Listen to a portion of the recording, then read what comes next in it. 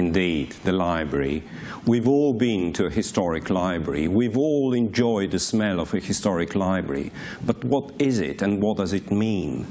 When we've recently, when at UCL Center for Sustainable Heritage, we've recently been asked to assess the environment at another historic library at St. Paul's Cathedral, the Wren Library, an incredible place.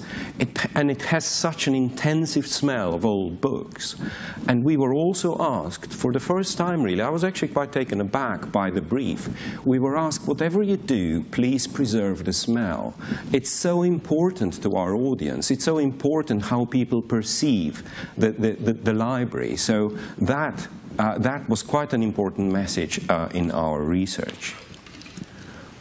And indeed, smell is an important way of how we communicate with the environment.